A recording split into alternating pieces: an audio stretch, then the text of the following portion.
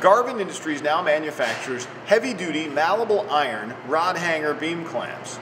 As you can see, it has a C-style body made from heavy-duty malleable iron. This is a black version because it has no plating, it's just raw malleable iron. Comes with a, set, a hardened set screw and a jam nut.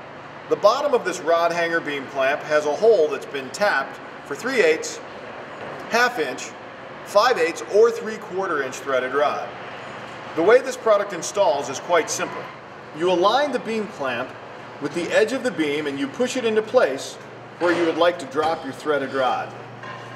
Once it's secured where you want it, you simply take a pair of channel locks or pliers and you tighten down the top set screw, locking it on the beam. To further increase the security and staying power of this clamp, take the jam nut and run it all the way down after the bolt is secure and tighten it against the top of the clamp.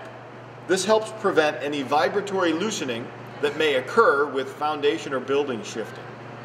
At this point, you're ready to take your 3 8 inch, half inch, 5 8 inch, or 3 quarter inch threaded rod and align it with the threaded hole in the bottom of the clamp.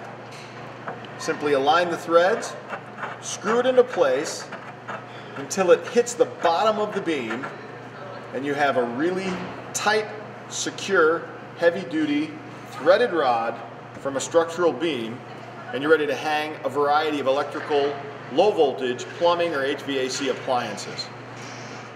For these and other great products, be sure to visit us online at garvinindustries.com.